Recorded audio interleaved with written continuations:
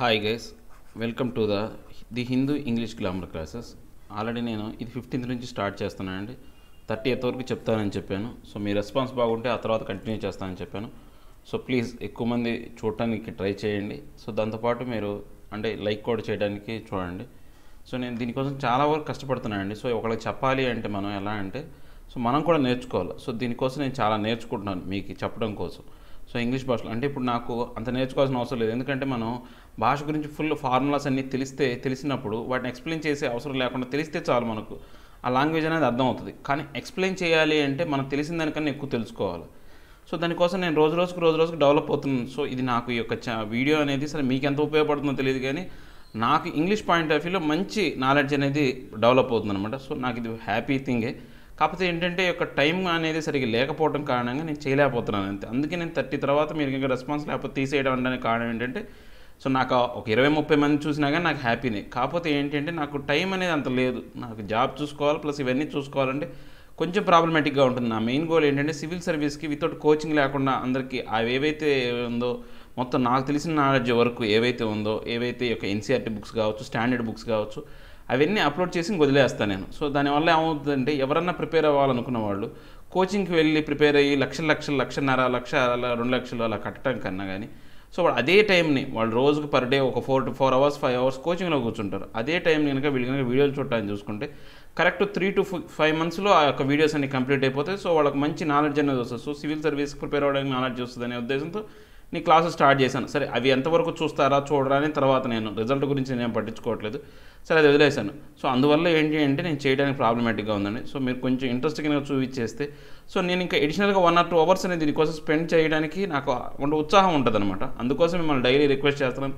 నేను ఎంత రిక్వెస్ట్ చేసినా కానీ మా దారి మాదే అన్నట్టు మేము మోనార్క్లో అన్నట్టే అలానే ఉందన్నమాట. సో మీ మాత్రం మీరు అలానే సరిగా వ్యూస్ ఉండవు. ఒకవేళ వ్యూ ఉన్నప్పటికీ కూడా దాని యావరేజ్ వ్యూ టైం తక్కువ. చూసిన వాళ్ళకి లైక్ చేయడం అనేది కష్టం అనమాట కనీసం లైక్ చేయబడడం కింద కామెంట్ రాసినా పలానా పలాని బాగాలేదు నేను అందుకే లైక్ చేయట్లేదు అని కామెంట్ రాస్తే కనుక నేను అది రికవర్ చేసుకోవడానికి ట్రై చేస్తాను. కనీసం అది కూడా ఉండదు. రెస్పాన్స్ అనేది తక్కువ ఉంటుంది. సో ఇప్పుడు ఏదో ఎవరైనా కానివ్వండి నేను కూడా లెర్నర్నే. పూర్తిగా నేను ఏదో పెద్ద సార్నో లేకపోతే నేను మొత్తం నాకు అన్నీ తెలుసు నేను ఎప్పుడు చెప్పుకొని నేను డైలీ నేర్చుకుంటున్నాను రోజు రోజుకి నేను డెవలప్ అవుతున్నా. సో నేను డైలీ ఒక విద్యార్థిని అనమాట నాకు తెలిసిందని మీకు కొంచెం ఎక్స్ప్రెస్ చేస్తున్నాను. అంతే. నేను ఏదో సార్ అని చాలామంది సార్ అని రాస్తారు. సో అది పెద్దగా నేను సీరియస్గా ఏం తీసుకున్నాను ఓన్లీ నేను ఏంటంటే నాకు తెలిసింది మీకు చెప్పాలని చూస్తున్నాను అంతే. నాకు కూడా చాలా తప్పులు జరుగుతున్నాయి. మీరే చాలామంది దీంట్లో మీకు తెలిసిన వాళ్ళు చాలామంది నా తప్పులు కూడా రైస్ చేస్తే నేను మళ్ళీ వాటి రెక్టిఫై చేసుకున్నాను ఎందుకంటే తప్పు చేయడం పెద్ద విషయం ఏం కాదు. పెద్ద పెద్ద తప్పేం కాదు. తప్పు చేయడం అనేది పెద్ద తప్పు కాదు. తప్పును దాచిపెట్టమే నా దృష్టిలో తప్పు అనమాట అందుకే నేను చేయట్లేదు ఆ పని. సో మరుసటి రోజే నా తప్పు నేను మళ్ళీ నేనే చెప్పుకున్నా పలాంది నేను తప్పు చెప్పానండి. సో మీరు కొంచెం కరెక్ట్ చేసుకోండి. అది ఒక్కడే కొంచెం చూడండి పొరపాటున చెప్పానని చెప్తాను నేను. సో ఇక మనం ఆర్టికల్లోకి వస్తే ఆల్రెడీ ఈ మార్నింగ్ ఆర్టికల్ అనేది దీని గురించి ఎక్స్ప్లెయిన్ చేశానండి. సో మీరు ఎవరైనా కానీ ముందు ఆ వీడియో చూసిన తర్వాత ఇది చూస్తే మీకు ఈజీగా ఉంటుంది అనమాట ఎందుకంటే మీకు ఒక కాన్సెప్ట్ అంటే కాన్సెప్ట్ అనేది మీకు అర్థమవుతుంది. పూర్తిగా ఆ కాన్సెప్ట్ ప్రకారం ఏంటంటే మనం ఇప్పుడు గ్రామర్ నేర్చుకోవడం ఈజీగా ఉంటుంది అనమాట ఆ కాన్సెప్ట్ బాగా అక్కడ బాగా ఎక్స్ప్లెయిన్ చేస్తాం కాబట్టి ఇక్కడ ఈజీ అవుతుంది అనమాట నెక్స్ట్ ఫస్ట్ మనం చూస్తే సెస్ పూల్. అంటే సెస్ పూల్ అంటే ఏంటంటే యొక్క పూల్ అంటే ఏంటంటే ఏదైనా ఒక మిళితమైనటువంటి అంటే పూల్ అంటే వాటర్ పూల్ అంటాం మనం. అంటే ఏంటి? దాంట్లో అంతా వాటరే ఉంటుంది. పూల్ అంటే కొన్ని వస్తువులు ఏవైనా కానీ ఒకే రకమైనటువంటి వస్తువుల సమాహారాన్ని మనం పూల్ అంటాం అనమాట సెస్ అంటే ఏంటి? మనకు పన్నులు. ఏవైతే సెస్ అంటే అంటే అధికమైనటువంటి భారం కలిగించేదాన్ని మామూలు పన్ను అనేది వేరు సెస్ వేరండి. మామూలు పన్ను ఎలా ఉంటుందంటే ట్యాక్స్ మనకు. ఏవైతే మనం తీసుకు కొనుక్కున్న వస్తువుల మీద ట్యాక్స్ అనమాట సెస్ అంటే ఏంటంటే కొన్ని నిర్దిష్టమైనటువంటి అంశాల కోసం అదనపు భారాన్ని వేస్తారనమాట ఇప్పుడు మనకు సపోజ్ ఉందనుకోండి ఇన్కమ్ ట్యాక్స్లో మామూలు ఈ యొక్క ఆర్టికల్లో చెప్పిన దాని ప్రకారం ఇన్కమ్ ట్యాక్స్కి సంబంధించి హెల్త్కి తర్వాత ఎడ్యుకేషన్కి సంబంధించినటువంటి సెస్ అనేది వేస్తారు.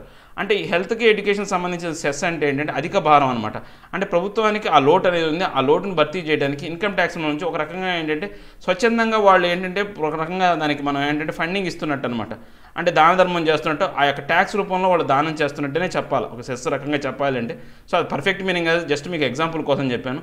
సో అదనమాట సెస్ అనేది. The centre must keep the faith of parliament state and people and stop misusing cess. అంటే ఇప్పుడు నేను ఆల్రెడీ చెప్పానండి ఈ యొక్క లైట్ బ్లూ కలర్లో ఉన్నాయి అనేది సబ్జెక్ట్ అని చెప్పాము తీసుకుంటామని చెప్పాం.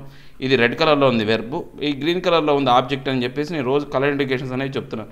సో మనం ఏదైనా కానీ ఒక సెంటెన్స్కి ఈ మూడింటిని కనుక మనం ఫైండ్ అవుట్ చేయగలిగితే మనం ఈజీగా మన ఆ యొక్క సెంటెన్స్ అనేది మీనింగ్ అనేది తెలుసుకోవచ్చు. మనకి ఎప్పుడైనా సరే మనకు మూడు ఫామ్స్ ఉంటాయండి. Present tense past tense future tense ఈ యొక్క ఈ మూడు ఎప్పుడైతే మనం తెలుసుకుంటామో అంటే ఇది ప్రజెంట్ అంటే ఇప్పుడు జరుగుతున్న అంశాన్ని చెప్తారు. పాస్ట్ ఏంటంటే జరిగిపోయిన అంశాన్ని చెప్తాం. ఫ్యూచర్ అనేది ఇప్పుడు ప్రజెంట్ అండ్ ఫ్యూచర్ అనేది రాబోయే కాలంలో జరగబోయేదని చెప్తాం. సో మనకు ప్రజెంట్ టెన్స్లో వచ్చేసరికి present tense be form V one కావచ్చు ఈజ్ యామ్ ఆర్ తర్వాత అదే పర్ఫెక్ట్ టెన్స్లోకి వచ్చేసరికి హ్యావ్ హ్యాజ్ హ్యాజ్ హ్యావ్ ఇవన్నీ వాడతాం మనం. ఇక పాస్ట్ టెన్స్లోకి వచ్చేసరికి మనకు వీ టూ ఫామ్ అనేది ఉంటుంది అనమాట ఏ సెంట్కి సెంటెన్స్కి ఇప్పుడు వజ్ అంటే బీ ఫామ్స్ వచ్చేసి వజ్ వర్ వాడతాం. తర్వాత ఈ యొక్క ఏదైతే పాస్ట్ టెన్స్ అంటే పర్ఫెక్ట్ టెన్స్లోకి వచ్చేసరికి హ్యాడ్ అనేదాన్ని వాడతాం. ఫ్యూచర్ వచ్చేసరికి మనకు మోడల్స్ వస్తాయి అనమాట విల్ అనేది వస్తుంది. సో ఏం లేదండి. ఈ యొక్క ప్రజెంట్ టెన్స్కి ఏదైతే ఉందో దానికి ఈ మోడల్తో కలిపి ప్రజెంట్ టెన్స్ని చెప్తాం. దాన్నే మనం ఫ్యూచర్ టెన్స్ అంటాం అనమాట అంటే మోడల్ మోడల్తో సహా అంటే will can may might shall should అవన్నీ కూడా మనం మోడల్స్ అంటాం. ఈ మోడల్స్ కనుక మనకు ప్రజెంట్ టెన్స్ ఫామ్లో ఏదైతే ఉందో దాన్ని అప్లై చేస్తే కనుక అది ఫ్యూచర్ టెన్స్ అయిపోద్ది అంతే. ప్రజెంట్ టెన్స్ ఏవైతే రూల్స్ ఉన్నాయో ఫ్యూచర్ టెన్స్ కూడా అవే రూల్స్ ఉంటాయి కాబట్టి మోడల్స్ అనేవి యాడ్ అవుతాయి అనమాట సో ఇది సో ఇప్పుడు మనకేంటి? ఇప్పుడు రాష్ట్ర అంటే కేంద్ర ప్రభుత్వం ది సెంటర్ మస్ట్ కీప్ అది కొంత ఏదో జాగ్రత్తగా పెట్టుకోవాలి కీప్ అనమాట the the faith of the parliament and states and people and stop misusing cess. అంటే ఇంకా ఏంటి? ఆ పార్లమెంట్కి సంబంధించినటువంటి రాష్ట్ర ప్రభుత్వాలకు సంబంధించినటువంటి ఈ యొక్క ప్రజలకు సంబంధించిన దాని ఏదైతే నమ్మకాన్ని ఏదైతే ఉందో దాన్ని జాగ్రత్తగా కీప్ అంటే పదిలపరుచుకోవాలా దాచుకోవాలా. అంటే నమ్మకాన్ని ఉంచుకోవాలా. కరెక్ట్గా చెప్పాలంటే వాళ్ళ మీద నమ్మకాన్ని పోగొట్టుకోకుండా అలానే ఉంచుకోవాలి. Stop misusing cess. అంటే ఈ యొక్క సెస్ అనే దాన్ని ఏదైతే తప్పు విధానంలో ఉపయోగిస్తున్నారో దాన్ని తప్పుడు విధానంలో ఉపయోగిస్తున్నారో ఆ విధానాన్ని పూర్తిగా ఆపేయాలి. ఇప్పుడు స్టాప్ అనేది మనం ఇక్కడ చెప్పాలంటే వెర్బ్ అనమాట సో ఈ యొక్క దాంట్లోనే వెర్బ్ అనమాట ఇది. వెర్బ్ మిస్యూజింగ్ సెస్ అనేది మనకు ఈ యొక్క ఆబ్జెక్ట్ అవుతుంది అనమాట సో ఇక నెక్స్ట్ మనం ఆర్టికల్లోకి వెళ్తే the latest audit of the union government's accounts అంటే ఈ మధ్యకాలంలో యూనియన్ గవర్నమెంట్ అకౌంట్స్కి లేటెస్ట్గా ఆడిట్ అనేది జరిగిందనమాట ఆడిట్ అంటే తెలుసు కదా లెక్కలు వేయటం అనమాట టేబుల్ అంటే ఆ జరిగిన ఆడిట్ అంతా ఆ లెక్కలన్నీ కూడా ఎక్కడ తీసుకొచ్చారు? టేబుల్ టేబుల్ అంటే మనకు నౌన్ అండి. కానీ ఈ డి యాడ్ చేయడం వల్ల టేబుల్ అది ఒక ఏమైంది పూర్తిగా అది ఒక వెరపుగా మారిపోయింది అనమాట సో అది టేబుల్ మీదకు వచ్చింది అని అర్థం అనమాట అంటే ఆ యొక్క లెక్కలన్నీ కూడా టేబుల్ మీద పెట్టారు. ఏ టేబుల్ మీద పెట్టారు? In parliament this week reviews అంటే ఈ యొక్క పార్లమెంట్ ఈ వారంలో జరిగినటువంటి పార్లమెంటు టేబుల్ మీద అంటే పార్లమెంట్ ముందుకు వచ్చిన ఈ ఆ యొక్క లెక్కలన్నీ అని చెప్తున్నాను అనమాట దట్ ఏదైతే ఉందో ఆ లెక్కలు వచ్చిన ఏదైతే ఆ లెక్కల ఆడిట్ ఏదైతే ఉందో finance minister quietly retained over forty percent of all cess collections in two thousand eighteen nineteen in the consolidated fund of India అంటే ఇప్పుడు ఈ ఫైనాన్స్ మినిస్టర్ ఏంటి అంటే క్వైట్లీ అంటే ఏంటి చాలా ఎక్కువ మొత్తంలో ఏంటంటే రీటైన్ పట్టి ఉంచడం రీటైన్ అంటే ఏంటి పట్టి ఉంచడం ఆమె దగ్గరే ఉంచుకుందనమాట ఏది దగ్గర దగ్గర అంటే నలభై శాతం కన్నా ఎక్కువ మొత్తం అమౌంట్ ఏదైతే ఉందో రెండు వేల పద్దెనిమిది పంతొమ్మిది సంబంధించినటువంటి ఈ యొక్క సెస్ కలెక్షన్స్ ఏవైతే ఉన్నాయో ఆమె ఆ యొక్క అమౌంట్ని ఎటువంటి ఖర్చు పెట్టకుండా కన్సాలిడేటెడ్ ఫండ్ ఆఫ్ ఇండియా మన భారతదేశానికి సంఘటిత నిధి అనేది ఉంటుంది. కన్సాలిడేటెడ్ అంటే సంఘటితం. సంఘటితం అంటే ఏంటంటే అన్నీ కలుపుకొని అన్నీ అంటే దాంట్లో ఇప్పుడు ఇన్కమ్ ట్యాక్స్ డబ్బులు ఉంటాయి తర్వాత ఇలాంటి సెస్ డబ్బులు ఉంటాయి తర్వాత కొన్ని ఫండ్స్ రూపంలో వచ్చినవి ఉంటాయి కొన్ని వేరు వేరే ట్యాక్స్ అంటే దాంట్లో ఈ రకమైన డబ్బు అనేది ఉండదు. కొన్ని కొన్ని రకాలైనటువంటి అన్ని రకాలైనటువంటి డబ్బులు అనేవి దాంట్లో ఉంటాయి అన్నమాట. సంఘటిత నిధి అంటాం అది. సో ఆ యొక్క దాంట్లో ఆ అమౌంట్ అనేది ఫార్టీ పర్సెంట్ అనేది అలానే పట్టి ఉంచిందనమాట ఆమె ఖర్చు పెట్టకుండా. ఇప్పుడు దేశం అనేది ఇంత కష్టకాలంలో ఉన్నప్పటికీ కూడా నలభై శాతం అమౌంట్ అంటే ఏంటండి మన భారతదేశం అలాంటి అమౌంట్ని వాళ్ళు దాచిపెట్టారు ఖర్చు పెట్టకుండా అలానే పెట్టారు. As many as thirty five different cesses అంటే ఎన్ని రకాలైనటువంటి సెస్సులు ఏవైతే ఉన్నాయో అన్ని రకాల ముప్పై ఐదు రకాలైనటువంటి సెస్సులు తర్వాత లివీస్ ఏవైతే ఉన్నాయో ఆ యొక్క పన్నులు ఏవైతే ఉన్నాయో దాంతోపాటు ఛార్జెస్ ఇంకా ఏంటి మనకు ఛార్జీల రూపంలో వసూలు చేసే అమౌంట్ ఏదైతే ఉందో అవి మొత్తం కూడా ఈల్డ్ అవి మొత్తం కూడా ఎంత అయినాయి అంటే two point seven five lakh crore in the year అంటే ఆ ఒక్క సంవత్సరంలో రెండు వేల పద్దెనిమిది పంతొమ్మిది సంవత్సరం కాలంలో మొత్తం రెండు పాయింట్ ఏడు ఐదు లక్షల కోట్ల రూపాయలు అనేవి ఏవి? మనకు ముప్పై ఐదు రకాలైనటువంటి సెస్సులు తర్వాత లేవీస్ అనమాట కొన్ని ఏవైతే పన్ను రూపంలో వచ్చే అంశాలు తర్వాత ఛార్జెస్ ఏవైతే ఉన్నాయో అంటే వాళ్ళకు ఏవైతే వసూళ్ళు ఏవైతే ఉన్నాయో ఛార్జీలు ఏవైతే ఉన్నాయో అన్నీ కలిపితే రెండు పాయింట్ ఏడు ఐదు లక్షల కోట్లు వచ్చినాయన్నమాట. బట్ కానీ just around one point six four lakh crore was remitted to specific reserve fund for which these cesses were levied కానీ మొత్తం అంటే కానీ మొత్తం వచ్చిన అమౌంట్లో ఒకటి పాయింట్ ఆరు నాలుగు లక్షల కోట్లు మాత్రమే వాళ్ళేంటి ఒక చెల్లింపుల రూపంలో చెల్లించారనమాట రెమిటెడ్ చెల్లింపుల రూపంలో చెల్లించారు.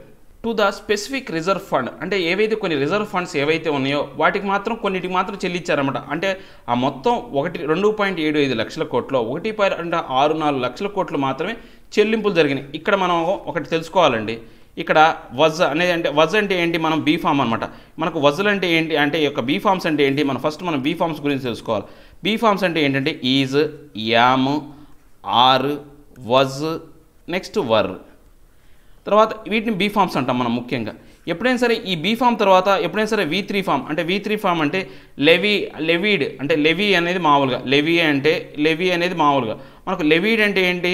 దానికి వి అంటే వి త్రీ ఫామ్ అంటారు లే లెవీ లెవీడ్ లెవీడ్ అనమాట ఏవైతే ఉన్నాయో అవన్నీ కూడా మనం వి త్రీ ఫామ్స్ అని అంటాం. ఎప్పుడైనా సరే ఈ యొక్క be form plus V three form వచ్చింది అంటే ఆ సెంటెన్స్ అనేది ఎప్పుడూ కూడా మనకు చెప్పాలి అంటే అది పూర్తిగా ఎలా ఉంటుంది అంటే ప్యాసివ్ వాయిస్లో చెప్తున్నట్టు అనమాట మనం యాక్టివ్ వాయిస్లో ఏంటంటే అంటే సబ్జెక్ట్ అనేవాడు కర్తగా ఉంటేనేమో దాన్ని యాక్టివ్ వాయిస్ అంటాం. సబ్జెక్ట్ అనేవాడు కర్తగా కాకుండా ఆబ్జెక్ట్ ఏదైతే ఉందో సబ్జెక్టు ఆబ్జెక్ట్ అనేవి రెండు ఉంటాయి. ఆ రెండు ఆబ్జెక్ట్ అనేవాడు కర్తగా ఇప్పుడు రామ కిల్స్ రా రామ కిల్స్ రావణ రామ రామ కిల్డ్ రావణ అన్నాం. So Ravana was killed by Rama. అంటే ఇక్కడ రాముడు రావణుని చంపాడు అనేది మనకు యాక్టివ్ వాయిస్ ఎందుకు? రాముని సబ్జెక్ట్గా చేసి మనం మాట్లాడుతున్నాం. ఇక్కడ నెక్స్ట్ సెంటెన్స్లో మనకు వచ్చేసి Ravana was killed by Rama. అంటే రావణుడు రాముడి చేత చంపబడ్డాడు. అంటే ఇక్కడ సబ్జెక్ట్ ఎవరయ్యారు? రావణుడు అయ్యాడు సో ఇలాంటి సమయం వచ్చినప్పుడు మాత్రమే మనం ఏం చేస్తామంటే ఈ యొక్క బీఫామ్ ప్లస్ వి త్రీ అనే దాన్ని వాడతాం. ఇక్కడ ఏంటి? మనకు ఏదైతే ఉన్న అంశంలో కొంత అంశాన్ని అంటే కొంత అమౌంట్ ఆరు పాయింట్ ఒకటి పాయింట్ ఆరు నాలుగు లక్షల రూపాయల కోట్లు మాత్రమే కొన్ని స్పెసిఫైడ్ వాటికి ఖర్చు పెట్టారు. అని మన వాడు ఏంది ప్యాసివ్ వాయిస్లో చెప్పాడు. ఎలా? యాక్చువల్గా మరి దీన్ని యాక్టివ్ వాయిస్లో చెప్పాలంటే కొన్ని స్పెసిఫైడ్ అంశాలకి ఆరు పాయింట్ నాలుగు కోట్లు ఖర్చు చేయబడ్డాయి అంటే కనుక మనకి యాక్టివ్ వాయిస్ అనమాట కానీ ఇక్కడ యాక్టివ్గా ఏం చెప్పారు? డబ్బు అనేది మనకు ప్రధాన అంశంగా చెప్పారు కాబట్టి సో మిగతా అంశాన్ని పక్కన పెట్టారు కాబట్టి సో డబ్బు ప్రధాన అంశం అయ్యేసరికలా ఇది ఏమైంది? ప్యాసివ్లోకి వచ్చేసింది. అంటే మామూలుగా ఎలా చెప్పాలా? కొన్ని కొన్ని వాటి కోసం ఆరు పాయింట్ నాలుగు లక్షల కోట్ల రూపాయలు ఖర్చు పెట్టారు. అంటే అప్పుడు ఏమవుతుంది? కొన్ని కొన్ని ఏవైతే ఉన్నాయో కొన్ని స్పెసిఫైడ్ వర్క్ ఏవైతే ఉన్నాయో అది యాక్టివ్ వాయిస్లో అనమాట అంటే ఈ ప్రధాన అంశంగా చెప్పినట్టు. కానీ ఇక్కడ ఎక్కడ ఎలా చెప్పారు? ఆరు పాయింట్ నాలుగు ఒకటి పాయింట్ ఆరు నాలుగు లక్షల కోట్లు అనేదాన్ని ప్రధాన అంశంగా చెప్పారు కాబట్టి సో దాన్ని ప్యాసివ్ వాయిస్లో చెప్పాలి? అంటే ఒకటి పాయింట్ ఆరు నాలుగు లక్షల కోట్లు అనేవి కొన్ని కొన్ని ప్రధాన అంశాల చేత ఖర్చు పెట్టబడినాయి. అంటే వాటి చేత వాటి కోసం కొరకు ఖర్చు చేయబడినాయి అని చెప్పారనమాట సో అందుకే మనకు వజ్ అనేది ఎప్పుడైనా వచ్చినా బీ ఫామ్ అనేది ఎప్పుడు వచ్చినా కానీ వి త్రీ ఫామ్ వస్తుంది అనేది మోస్ట్లీ చెప్తాం. ఒక్కోసారి మనకు ఎక్సెప్షన్ కేసులు ఏంటంటే ఈ బీ బీ అంటే బీ ఫామ్స్తో పాటు verb V one plus ing form కూడా వస్తుంది అనమాట అంటే అది కంటిన్యూస్ సెంటెన్స్ ఉన్నప్పుడు ఇలా వస్తుంది. కంటిన్యూస్ సెంటెన్స్ ఉన్నప్పుడు. ఇవన్నీ మీకు తెలిసి ఉండాలండి. ఇవి తెలిస్తే ఏంటంటే మీకు ఏవైతే మీరు ఆ, ఒక బ్యాంకింగ్ ఎగ్జామ్స్కి వెళ్తారో ఈజీగా క్లియర్ చేయొచ్చు అనమాట బ్యాంకింగ్ ఎగ్జామ్ అనేది పెద్ద ఏం కాదు. సో మనకి ఈ ఫండమెంటల్ రూల్స్ అనేవి కనుక తెలిస్తే బ్యాంకింగ్ ఎగ్జామ్ ఈజీ క్లియర్ చేయొచ్చు అనమాట సో ఈ యొక్క ఆరు పాయింట్ నాలుగు లక్షల కోట్లు అనేవి ఖర్చు చేయబడ్డాయి కొన్ని కొన్ని వాటికి. ఏది ఏవైతే ఆ సెస్సుల కోసం వాటి కోసం కేటాయించబడ్డారో వాటి కోసం ఖర్చు చేశారన్నమాట. This not only helped understate India's revenue and fiscal deficit number but also mean that the purposes for the for which parliament approved such cesses అంటే ఇప్పుడు ఏవైతే ఉన్నాయో ఇప్పుడు నాట్ ఓన్లీ బట్ ఆల్సో అనే ప్రయోగం వచ్చింది. నాట్ ఓన్లీ బట్ ఆల్సో అంటే అర్థం ఏంటంటే ఇది కాకుండా ఇదే కాకుండా అది కూడా. అంటే నాకు ఇప్పుడు నాకు అండ్ మీకు అంటే ఇప్పుడు మనం ఏదైనా అడిగాను క్వశ్చన్ వచ్చి అడిగాం అనుకోకండి మీకు నీకు ఈత వచ్చాను అనుకోండి నాకు ఈతే కాదు తర్వాత ఇంకా ఏదైనా ఇంకో అడిషనల్గా ఏదైనా వచ్చిందనుకోండి నాకు క్రికెటే కాదు ఫుట్బాల్ కూడా వచ్చు నాకు అదే కాకుండా ఇది కూడా వచ్చు అని చెప్పడానికి మనం నాట్ ఓన్లీ బట్ ఆల్సో వాడతాం అనమాట అంటే ఇప్పుడు ఈ యొక్క అమౌంట్ ఏదైతే ఉందో దేనికి ఉపయోగపడుతుందంటే మన భారతదేశానికి ఈ యొక్క భారతదేశంలో ఉన్నటువంటి రెవెన్యూ ఆర్థికపరమైనటువంటి లోటు ఫిజికల్ డిఫిసిట్ అనమాట ఈ యొక్క ఆర్థికపరమైనటువంటి అప్పులు ఏవైతే ఉన్నాయో దాన్ని భర్తీ చేయడానికే కాకుండా దాంతోపాటు ఏంటి అంటే కొన్ని సెస్సెస్ ఏవైతే ఉన్నాయో పార్లమెంట్లో ఆమోదం పొందని కొన్ని సెస్సులు ఏవైతే ఉన్నాయో కొన్ని అంశాలు ఏవైతే ఉన్నాయో వాటిని భర్తీ చేయడానికి కూడా ఈ యొక్క అమౌంట్ అనేది ఉపయోగపడుతుంది అనమాట అలాంటి అమౌంట్స్ ఏంటి అంటే బి ఇట్ హెల్త్. అంటే అలాంటి అమౌంట్స్ ఏంటంటే పార్లమెంట్ చేత ఇవి గుర్తించబడినటువంటి అమౌంట్స్ అనమాట హెల్త్కి ఎడ్యుకేషన్కి ఇన్ఫ్రాస్ట్రక్చర్ డెవలప్మెంట్కి వాటికి గుర్తించబడ పార్లమెంట్ చేత ఎక్కువ నిధులు కేటాయించబడ అలాంటి నిధులన్నీ కూడా ఈ సెస్సుల అమౌంట్ రూపంలో కేటాయించబడతాయి అనమాట అవి ఏవైతే ఉన్నాయో వాటి కోసం ఈ యొక్క సెస్సులు వసూలు చేస్తుంటే అవి మాత్రం చేరుకోవట్లేదు అనమాట వాటి కోసం ఏర్పాటు చేసినప్పటికీ కూడా అవి ఫుల్ఫిల్ అవ్వట్లేదు వర్ నాట్ మెట్ అవి ఏవైతే ఉన్నాయో అవి అందుబాటులో అంటే వాటికి వాటిని ఏ కారణంతో ఆ సెస్సుని వసూలు చేస్తున్నారో ఆ కారణాలు అనేవి ఫుల్ఫిల్ అవ్వట్లేదు అనమాట next the CAG of India has not for the first time అంటే ఇప్పుడు మనకు ద కాగ్ అనేది ఇది ఫస్ట్ టైమే కాదు హ్యాజ్ ఆర్గ్డ్ ఇప్పుడు ఇదంతా కూడా మనకు ప్రజెంట్ పర్ఫెక్ట్లో చెప్పిన సెంటెన్స్ అండి. ఈ మధ్యలో సెంటెన్స్ అనేది మనం ఏంటంటే సబ్జెక్ట్గానే తీసుకోవాలన్నమాట. Not for the first time the the CAG of India అనాల.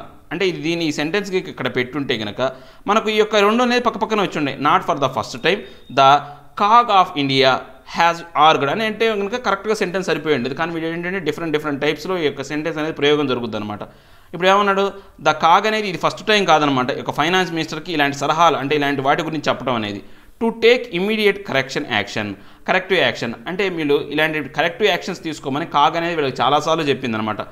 Over ten years not a paisa of the one point two five lakh crore of cess collected అంటే ఇప్పుడు ఏదైతే ఒక పది సంవత్సరాలుగా మనం చూసుకుంటే ఒక పైస కూడా అంటే ఒకటి పాయింట్ రెండు ఐదు లక్షల కోట్ల రూపాయలు అనేవి సెస్ రూపంలో కలెక్ట్ చేయబడినాయి అనమాట.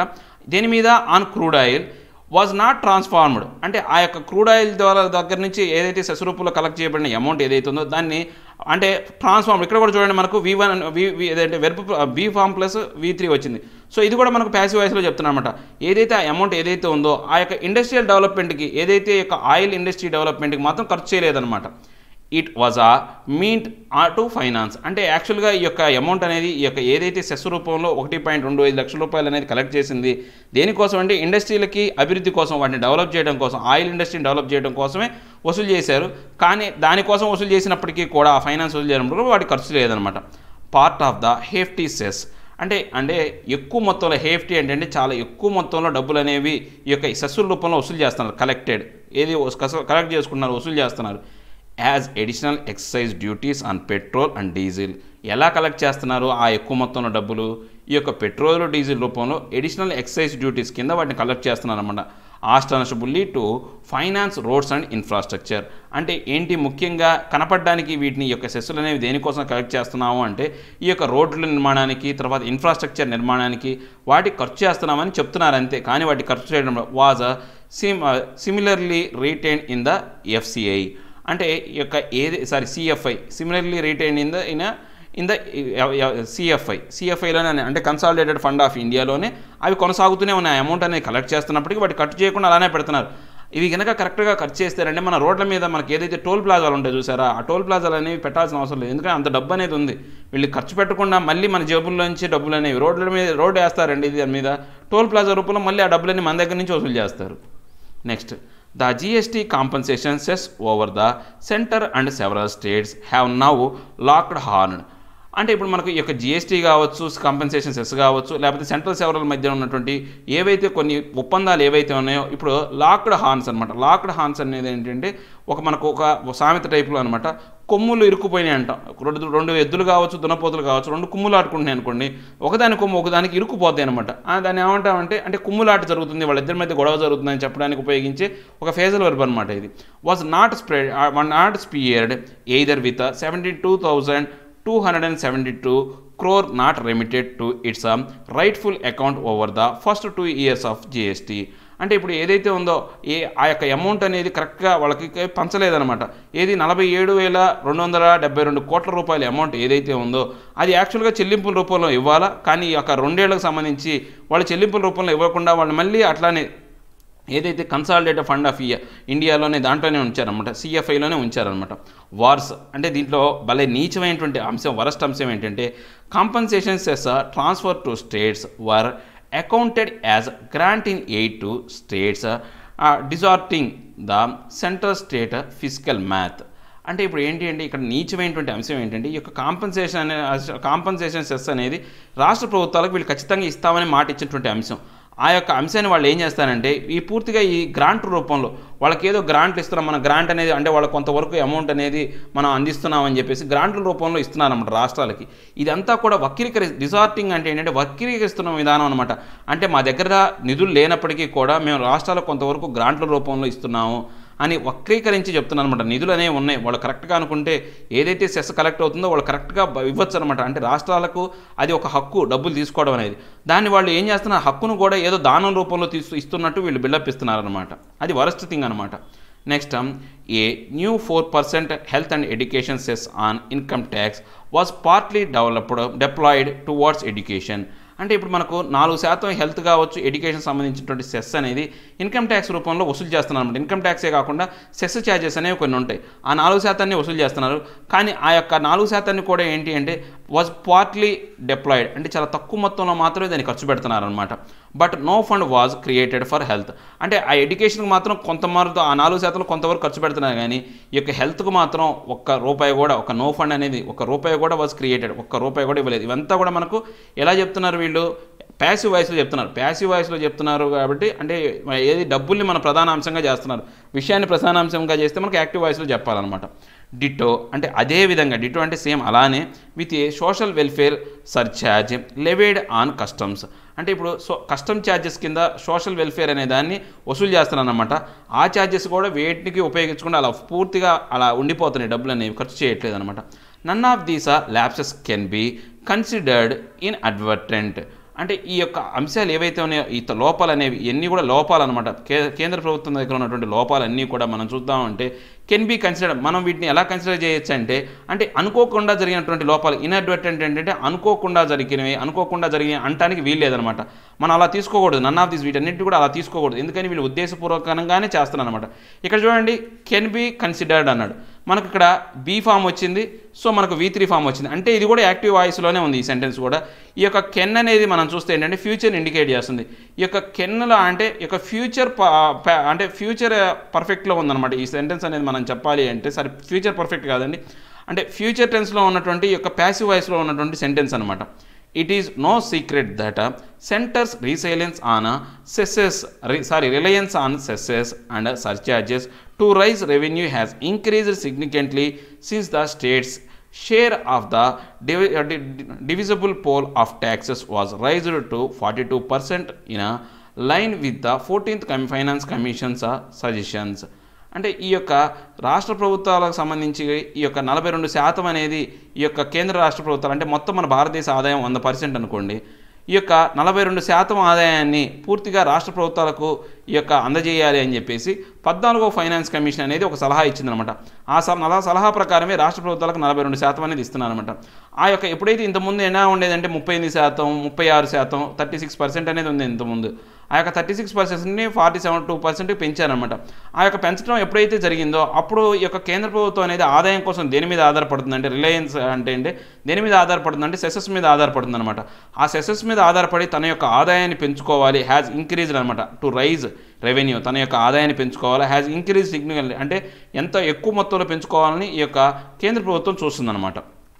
Cess receipts are not part of the this uh, pool uh, through it is arguable whether such a levies are in sync with a nation trying to simplify its tax regime అంటే ఇప్పుడు మనం cess కనుక చూసుకుంటే ఏంటి అంటే యాక్చువల్గా ఈ యొక్క ట్యాక్స్ పూల్లోకి రాకూడదు ఈ పార్ట్ ఆఫ్ ద పూల్స్లోకి రాకూడదు అనమాట మనం మామూలుగా ఆర్గబుల్గా వాదించాల్సిన అంశం ప్రకారం మనం చూసుకుంటే ఇక రాష్ట్ర ప్రభుత్వాలకు సంబంధించి కావచ్చు లేకపోతే కేంద్ర ప్రభుత్వం అనేది ఎక్కువగా ఏం చెప్తుందంటే ఈ యొక్క నేషనల్ వైడ్గా ఈ యొక్క ఏదైతే ట్యాక్స్ విధానాన్ని ఏదైతే ఉందో దాన్ని పూర్తిగా తగ్గించాలి అంటే దాని యొక్క ప్రభావాన్ని సింప్లిఫై చేయాలి ఈజీగా చేయాలని చెప్పేసి చెప్తుంది. సో వాళ్ళ యొక్క ఉద్దేశించబడినటువంటి అంశాలు అనేవి ఈ యొక్క విధానం ద్వారా అంటే their intended use to fund specific public spending needs services as an acceptable rationally. అంటే వాళ్ళు ఇక్కడ ఉద్దేశించబడినటువంటి ఆ అంశాలు ఏవైతే ఉన్నాయో ఆ యొక్క అంశాలనేవి హేతుబద్ధంగా జరుగుతున్నాయా లేదా? Provided it is either to అంటే ఈ యొక్క అంశం అనేది ఏదైతే కట్టుబడి ఉన్నారో వాళ్ళు ఏవైతే చెప్పారో అంటే మన యొక్క దేశం మొత్తం కూడా ఈ యొక్క ట్యాక్స్ విధానం అనేది అంటే క్లిష్టతరం కాకుండా సరళీకృతం చేస్తామనే అంశానికి కట్టుబడి ఉన్నారా లేదా? ఈజ్ ఎదేర్ టు ఇది కూడా మనకు ప్యాసివ్ వాయిస్లోనే చెప్పినట్టు. చూడండి బీ ఫామ్ వచ్చింది వి త్రీ అనేది వచ్చిందనమాట with a climate of destruct distrust hovering over India's federal party, be it over the GST compensation dispute or passage of farm sector bills without taking states on board. అంటే ఇప్పుడు భారతదేశంలో మనకు ఈ యొక్క వాతావరణం ఎలా ఉందంటే కేంద్ర రాష్ట్ర ప్రభుత్వాల మధ్య వాతావరణం అనేది ఒక అపనమ్మకం అనేది ఉందన్నమాట ఒక అపనమ్మకం అనేది హోవరింగ్ అంటే ఊగిసలాడుతూ ఉందన్నమాట ఈ యొక్క ఊగిసలాడుతున్నట్టుంది ఎందుకని ఇలాంటి అపనమ్మకం ఊగిసలాడుతుందంటే ఈ యొక్క జిఎస్టీ కాంపన్సేషన్ ఏదైతే ఉందో దానికి సంబంధించి తర్వాత ఈ యొక్క ఏదైతే కొన్ని ఫామ్ బిల్స్ అనేవి కావచ్చు లేకపోతే ఈ యొక్క ఏదైతే లేబర్ బిల్లు ఏవైతే ఉన్నాయో అవన్నీ కూడా రాష్ట్ర ప్రభుత్వాల యొక్క అనుమతి లేకుండానే వాళ్ళని సంప్రదింపులు జరపకుండానే ఈ యొక్క కేంద్ర ప్రభుత్వం అనేది కొన్ని చట్టాలు అనేవి చేసిందనమాట. ఈ రెండు కారణాల వల్ల ఈ యొక్క వీటి మీద అపనమ్మకం అనేది పెరిగిపోతుందనమాట. It is uh critical for the centre to build bridges అంటే ఇది చాలా ముఖ్యం. ఇది ఇట్ ఈజ్ క్రిటికల్ ఇది చాలా అవసరం అనమాట ఏది కేంద్ర ప్రభుత్వానికి ఏది ఈ యొక్క నమ్మకాన్ని పెంచుకోవడం అనేది కేంద్ర రాష్ట్ర ప్రభుత్వాల మధ్య ఏదైతే ఈ యొక్క బంధం ఏదైతే ఉందో ఆ యొక్క గ్యాప్ ఏదైతే ఉందో బ్రిడ్జ్ చేయడానికి చాలా ముఖ్యం అనమాట రీబిల్డ్ చేయడానికి చాలా ముఖ్యమైనటువంటి అంశం అనమాట next cesses starting with the excise duties on petrol and diesel need to be rationalised అంటే ఇప్పుడు ఈ సెస్సెస్ ఏవైతే ఉన్నాయో మనం ఎక్కడి నుంచి మొదలు పెట్టాలా? పెట్రోల్ డీజిల్ దగ్గర నుంచి స్టార్ట్ చేయాలన్నమాట. వాటిని ఏం చేయాలి వీళ్ళు? హేతుబద్ధత చేయాలి. అంటే సరిగా ఈ యొక్క సెస్సెస్ అనేవి వసూలు చేయడం అనేది చూడాలి.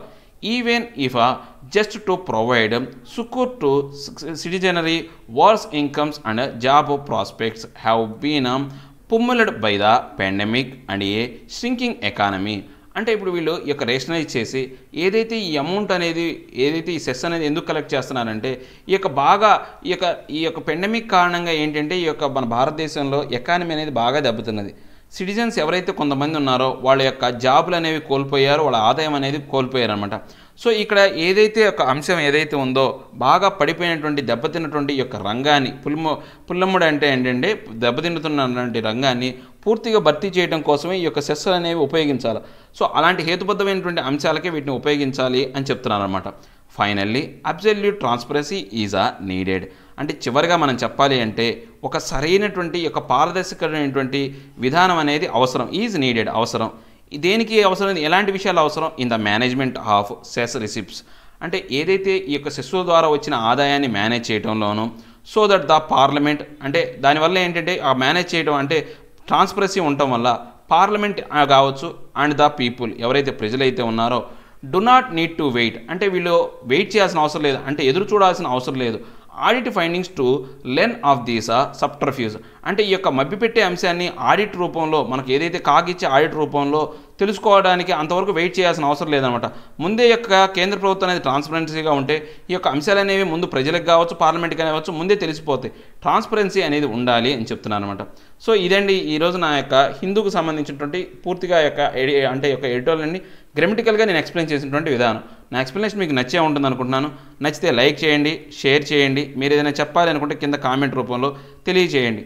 ఇంకా సబ్స్క్రైబ్ అవ్వని వాళ్ళు ఎవరైనా ఉంటే సబ్స్క్రైబ్ అవ్వండి. Thank you thank you very much